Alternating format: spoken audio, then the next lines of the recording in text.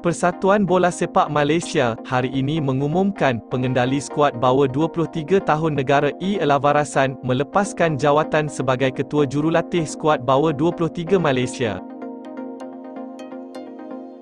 Perkara itu diumumkan FAM dalam satu siaran media hari ini. Elavarasan akan kembali menumpukan fokus kepada tugasan asal iaitu menjadi penolong jurulatih kepada pengendali Harimau Malaya Kim Pan Gon. Elavarasan pada 1 September 2022 telah diumum sebagai Ketua Jurulatih Bawah 23 Kebangsaan yang baharu menggantikan Brett Malani dan pada masa yang sama masih memegang jawatan sebagai pembantu kepada Ketua Jurulatih Kebangsaan Kim Pan Gon dalam skuad senior negara.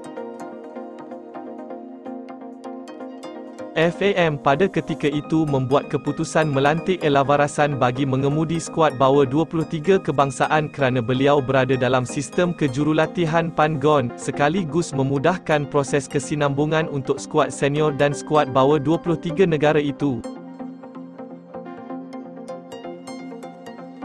Setahun di bawah kendalian Elavarasan, skuad bawah 23 kebangsaan berjaya menjuarai Piala Melian 2023 di Singapura pada Mac lalu dan biarpun gagal di Sukan C 2023 di Kemboja pada Mei mereka berjaya layak ke separuh akhir kejuaraan bawah 23 AFF 2023 di Rayong, Thailand pada Ogos dan layak ke Piala Asia bawah 23 untuk tahun 2024 selepas melepasi pusingan kelayakan di Chonburi, Thailand baru-baru ini. Sejurus selesai tugasan di Chonburi itu, satu perjumpaan di antara Elavarasan dan Presiden Persatuan Bola Sepak Malaysia, Datuk Haji Hamidin Haji Muhammad Amin, yang telah diadakan di Wisma FAM, Kelana Jaya, bagi membincangkan hala tuju pasukan bawa 23 kebangsaan, selepas aksi pusingan kelayakan Piala Asia bawa 23 2024.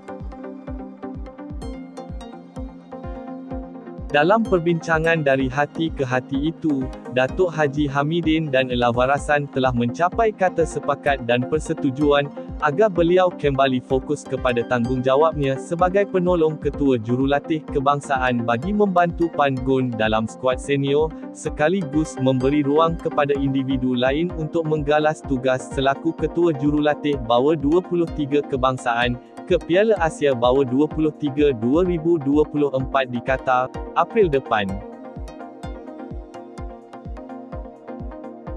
Datuk Haji Hamidin turut mengucapkan setinggi-tinggi terima kasih atas sumbangan Elavarasan kerana tetap berjaya membawa pasukan layak ke Piala Asia Bawah 23 2024 biarpun tewas 1-0 kepada Thailand pada aksi terakhir kelayakan 12 September lalu. Pengganti Elavarasan sebagai Ketua Jurulatih Bawa 23 Kebangsaan bagi menghadapi Piala Asia Bawa 23 2024 dikata pada April depan hanya akan diumum selepas beberapa penelitian dan perbincangan dengan pihak-pihak yang terlibat serta kata putus yang akan dicapai nanti.